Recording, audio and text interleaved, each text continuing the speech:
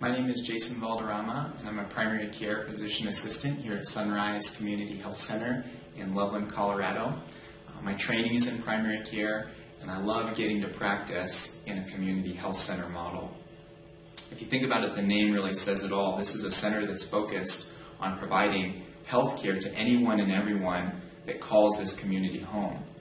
Sunrise really does an amazing job at being a center for health. Uh, when I think about uh, what we provide to the community, uh, it, it is really available to anyone and everyone, and it's a place where they can come and get medical needs met.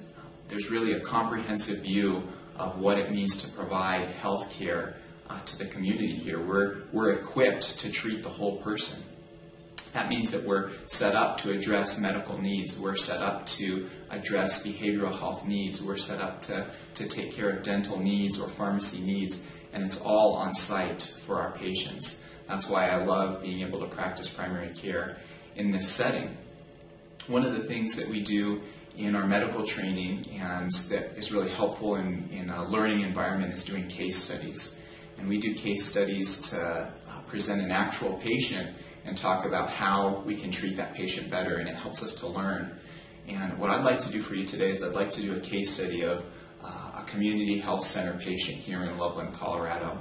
So I would like you to, to picture uh, a new patient moving to Loveland and needing to establish primary care. They can come to our clinic and let's say they, they, they come in and they tell us we don't have any insurance that's okay, that's no problem. We're going to help you get uh, established with a primary care provider here today.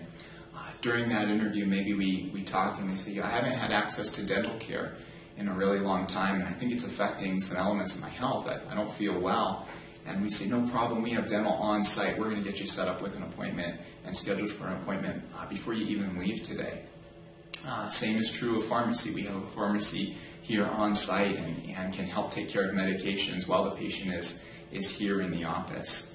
Uh, I think about uh, maybe uh, a patient telling me, I'm wrestling with depression, I've struggled with depression in the past, and, and moving to this new city has really brought up some, some anxiety for me, and um, I'm feeling nervous. And, and I tell them, you know what, we have behavioral health here today. You can meet with a behavioral health counselor, and we can help develop a behavioral health plan to, to address all of these needs.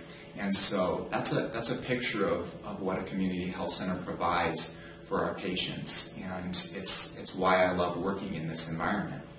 I also think about uh, patients' need for insurance and having enrollment specialists here on site to be able to, to work with them and look at um, their financial status and, and to be able to say, we have an insurance plan that we can help you get enrolled with.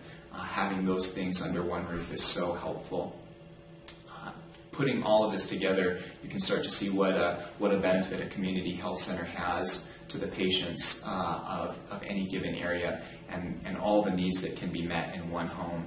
Uh, as that patient is leaving and as that patient is establishing care, here's something that I would communicate to them is you can bring your whole family here. Bring grandparents. Uh, your friends are welcome. Bring your kids, everybody in between. Um, we have a place here for you. This is a, a community health center that's for anyone and everyone in our community, and we are here for you. This is your center for health.